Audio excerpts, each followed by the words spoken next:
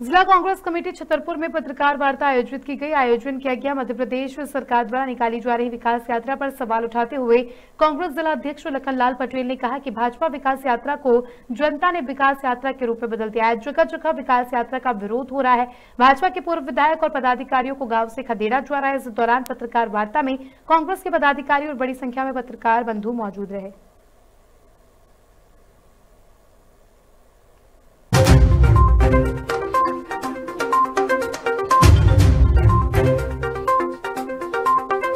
जनता परेशान है पूरे प्रदेश की।